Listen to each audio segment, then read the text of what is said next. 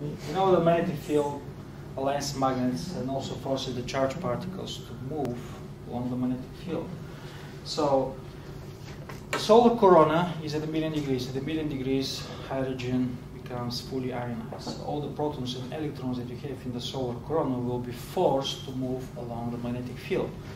So that's why when you look at images like this, you're basically tracing the magnetic field. Okay. Uh,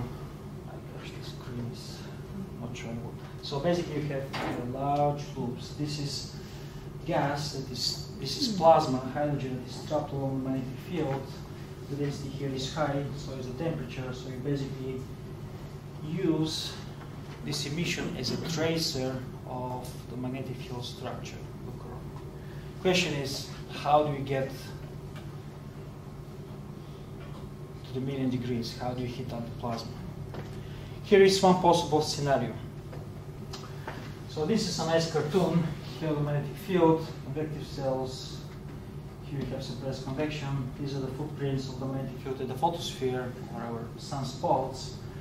And remember, there is always convection surrounding these sunspots. Okay? What convection does is it introduces disturbance. It's like constantly shaking the surface. It's constantly, if this is your magnetic field, okay, two ends, you constantly shake the two ends. You launch waves at the level of the photosphere due to the constant convection. And when you perturb the magnetic field, you launch waves. Okay? What do these waves do?